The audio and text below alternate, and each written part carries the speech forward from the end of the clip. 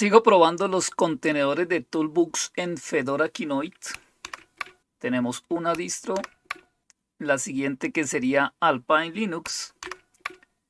Esta sería Ars Linux.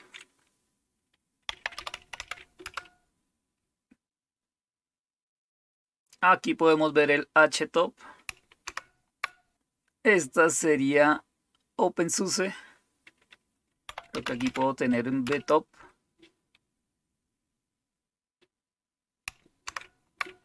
Ubuntu.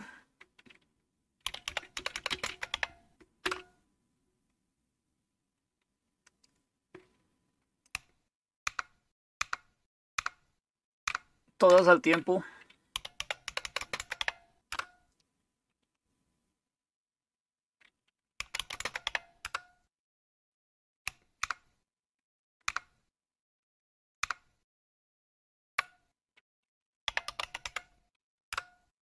Y las estoy ejecutando en forma remota por SSH.